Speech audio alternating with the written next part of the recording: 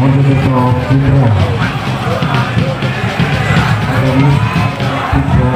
puluh Wasit dari teman-teman nomor 21 dari SMP keluar